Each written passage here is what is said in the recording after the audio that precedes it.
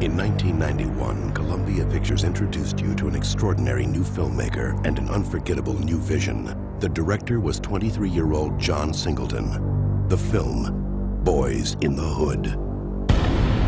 Now, Columbia Pictures is proud to present a remarkable new film from another extraordinary new talent. The director is 23-year-old Robert Rodriguez.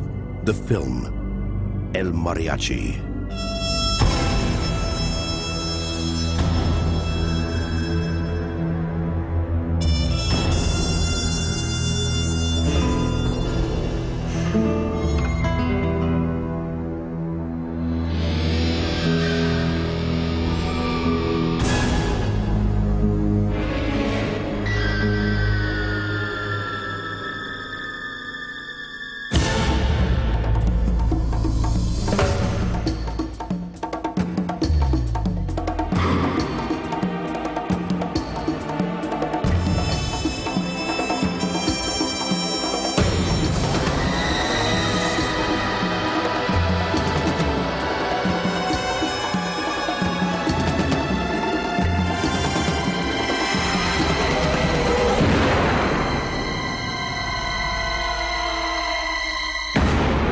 El Mariachi.